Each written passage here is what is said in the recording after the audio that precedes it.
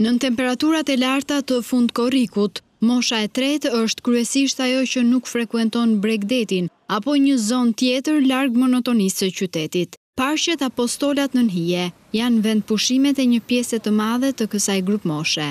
Në shpi rrim tërë ditën. Masdite pastaj nga ora 7 dalim prapë. Si mendon ti me pensionin 150.000 lekë, ku mund të kalohet? Këto janë pushimet tona. Shofin ai që ka mundësi mund të shkojë edhe ditore, ose këtu në shpi, bëjmë xhiro ke liqeni. Sipas tyre, kjo zgjedhje e detyruar vjen jo vetëm nga frika e pandemisë së koronavirusit, por edhe për shkak të pamundësisë ekonomike. Nuk është e angazhuar, e angazhuar do të jetë ajo, por nuk ka fuqi financiare. Sepse këto pensionet, siç ka thënë dhe ish kryeministri Majko, i kanë lënë sa një fije krau, kështu pule.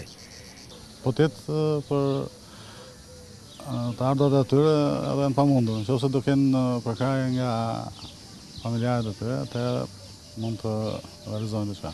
Por edhe kjo është ana ekonomike, ndërsa nga ana e Covidit besoj se do jenë të pamundur. Vallaj, çike vështirë është. Se me pensionin që kanë, mosha e tretë, është çike vështirë. Me të ardhurat mujore, ata diskutojnë nëse do të arrijnë të furnizohen me ilaçet e ushqimet e përditshme. S'ka mundësi, për arsye se ka një pension fare të vogël dhe s'e përballon. Pensionin po, nuk nuk menduan për pensionin fare. Atë po thoshim tani, gjithë këto halle, gjithë këto ilaçe e mjekime, duhet çik për pensionistët.